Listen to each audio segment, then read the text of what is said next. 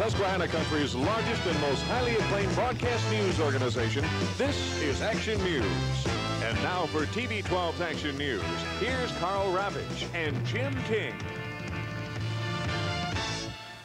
Good evening. Hundreds protested the connector project by stopping traffic on Interstate 88 this afternoon and a spring tune-up to help keep those in wheelchairs moving right along.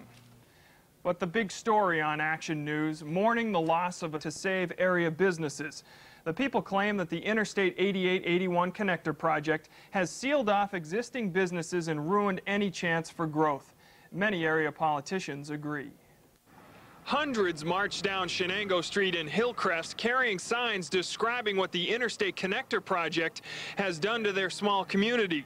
The group then blocked traffic on Interstate 88 for several minutes as they crossed the road they say has paralyzed businesses in the community. It's a turning point in their lives. I'm a good friend with Tom Leahy who's losing the gas station. We want to prove that we want development. We feel that uh, something has to be done for the area businesses. We feel that we're being cut off and uh, something has to be done. The people gathered at the Hillcrest Shopping Center and many area politicians joined their cause. Once that slip ramp was closed here, it sealed this place off. So you divided this area, like, this is like a Berlin Wall, separating and making this an island. Uh, I don't think government should do that. I, I, I blame our engineers who designed this project for allowing this to occur. I can't imagine what it would be like if my business was shut off by a bureaucratic department. Uh, it would be devastating to me, and my heart bleeds for these people. It's destroyed all the, the businesses that were in this area.